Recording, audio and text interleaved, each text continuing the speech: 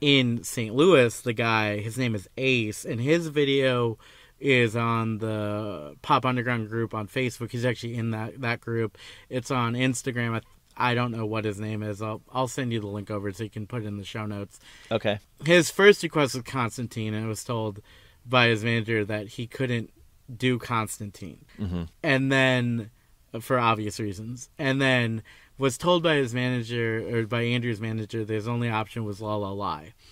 And so when he got to the show to rehearse, he asked Andrew if he could do Straw Dog. So that's why they ran through it three different times. Kind of he actually posted this on the on the Pop Underground page and he's like Andrew being the amazing person was like, Let's do it. You know, Yeah. screw it. Let's let's go for it. Let's do this song. That's amazing. How special. yeah. And he was incredible.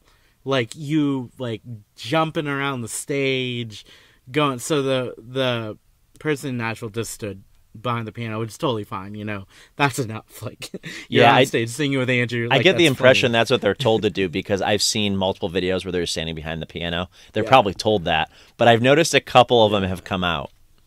Yeah, this guy danced all around the stage, jumped.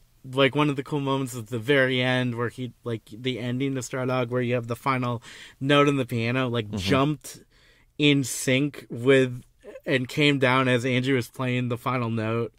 That was and Andrew was watching him. They were cueing off each other. Andrew was having a blast. Like it was that was so cool. He was so good. Mm-hmm. And he actually dropped a Konstantine acoustic cover I think yesterday. So he's Oh wow! He put I think the caption to his Instagram post was like last night was like the best night of my life playing with Andrew McMahon on stage. So that was really mm-hmm. cool.